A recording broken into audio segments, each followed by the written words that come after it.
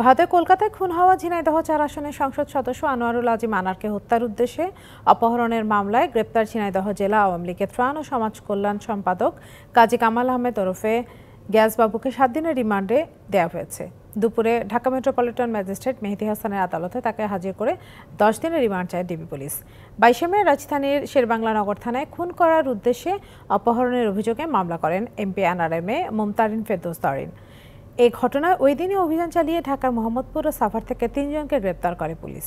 এরা হলেন আমানুল্লাহ ওরফে শিমুল ভূঁইয়া, ফয়সাল আলী ওরফে তানভীর ও সিলেস্তি রহমান। এই মামলায় আনার হত্যার দায় স্বীকার করে সিলেস্তি ও তানভীর ভূঁইয়া ও আমানুল্লাহ ওরফে শিমুল ভূঁইয়া আদালতে স্বীকারোক্তিমূলক জবানবন্দি দিয়েছেন। বর্তমানে তারা তিনজনই কারাগারে আছেন। চাঞ্চল্যকর একটি মামলা, যে সংসদ সদস্য আনার হত্যা মামলা। এই মামলায় আজকে একজন আসামিকে গ্রেপ্তার করে তো পুলিশ রিমান্ড দশ দিন পুলিশ রিমান্ড আদালতে পাঠানো হয়েছে ডিবি। সেই আসামির আজকে সাত দিনের পুলিশ রিমান্ড মঞ্জুর করেছে। নগদে পাঁচশো টাকা বা তার বেশি পেমেন্টে পেতে পারেন ঢাকায় জমিসহ বিশ কোটি টাকার পুরস্কার।